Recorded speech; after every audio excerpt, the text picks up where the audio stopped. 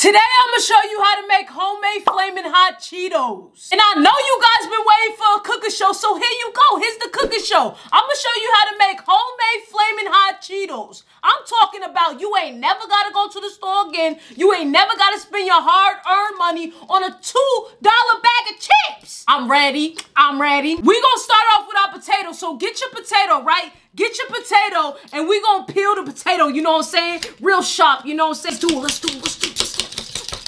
We're gonna cut our potato into nice pieces. We really want this potato to have a good sized piece when we put in the pot. So we don't want it too small. We want it like a good size like that. Then when we get our potatoes, right, like that, we wanna add it to ice water. Once our water is boiled, we're gonna take our pot steamer and we're gonna place our pot steamer right on top of our boiling water. Now, when we put our potatoes in here, the potatoes are not gonna touch the water. It's only gonna steam. Now we gonna take our potatoes and add it to our steamer. Let's get it. We gonna take our lid and we gonna add it on top of the pot so that steam won't get out. We gonna cook this for about like 30 minutes or until it gets soft. You feel me? Once our potatoes are done cooking, we're gonna put it inside our strainer. Then we're gonna take our fork and we're gonna mash it through the strainer. We want these potatoes really mashed. I'm talking about really mashed. Take one cup of mashed potatoes and add it to that bowl. You feel me? Let's get it. Then we're gonna take one fourth cup of cornstarch and add it to our bowl.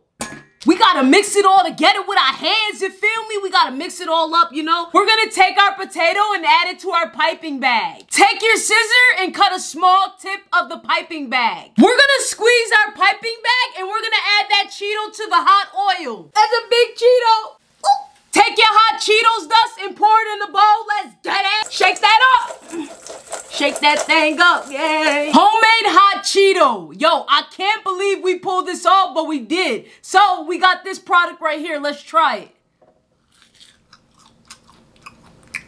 Bro, the crunch is there, bro. This is so spicy. I expect that, though. It's a hot Cheeto. Mm. And that's how you make homemade hot Cheetos. If you guys are new to the channel, make sure you hit that subscribe button. Tell me down in the comments down below what you want me to make, and we gonna make it. Let's get it. Let's go. It's Shanny for 4 3. I'll see y'all later.